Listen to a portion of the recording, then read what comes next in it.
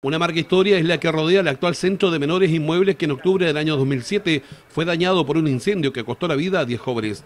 De ahí en adelante se han registrado otras emergencias producto de las características de infraestructura que posee el lugar.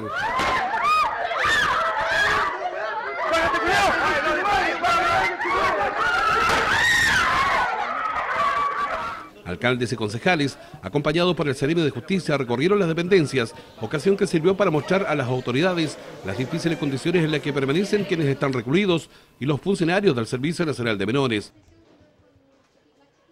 Por ello es que se exhibió la imagen virtual del nuevo proyecto que pretende levantar un recinto absolutamente distinto y en un lugar cedido por la municipalidad.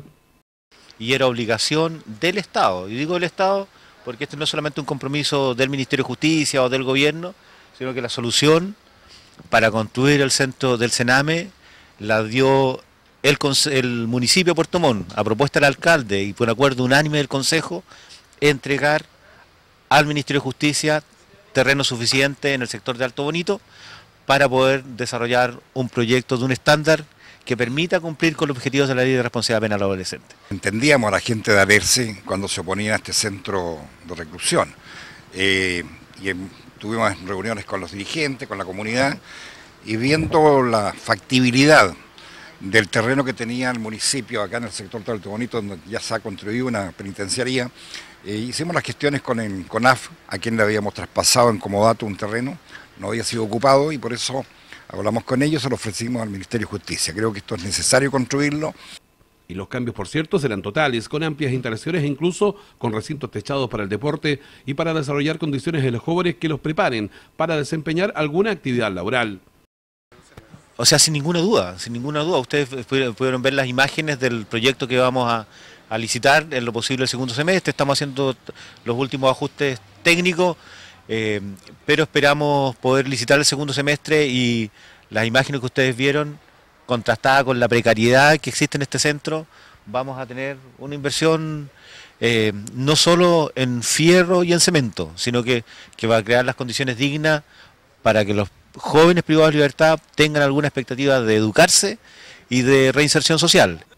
Los que recibieron con satisfacción la noticia fueron quienes representan a los funcionarios del CENAME, los que manifestaron la esperanza que en esta ocasión sí el proyecto sea una realidad.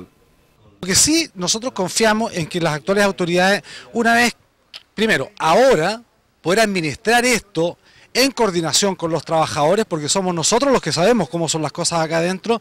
Y en segundo lugar, una vez que se ponga en funcionamiento este nuevo proyecto, queremos participación en el proyecto de funcionamiento de este nuevo establecimiento. Ahora, esperemos que este no sea el cuento del lobo y que continuemos dilatando esta situación que ya viene hace demasiados años. Ojalá que podamos concretarlo. Yo quiero darle la seguridad a la, eh, a la sociedad de que este es un proyecto que se va a hacer.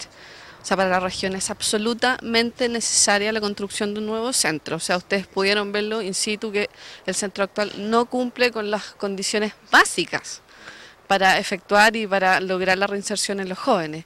Eh, ha sido un proceso difícil, eh, todos hemos sido testigos de eso, pero estamos trabajando arduamente eh, junto con el intendente, con el CEREMI, para sacar adelante este proyecto. La idea, como lo mencionó el CEREMI, es licitar el proyecto el segundo semestre de este año, para más tardar el primer semestre del año 2014, contar con el inmueble ya construido y en operaciones.